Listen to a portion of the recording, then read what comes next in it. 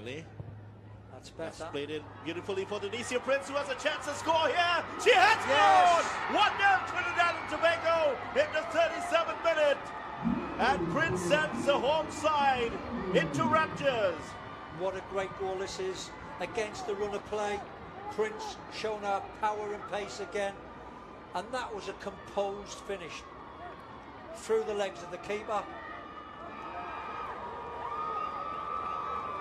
The first bit of quality in the game from Trinidad and Tobago, and they take the lead in the 37th minute. Yeah, he would go again. This is a good ball into space.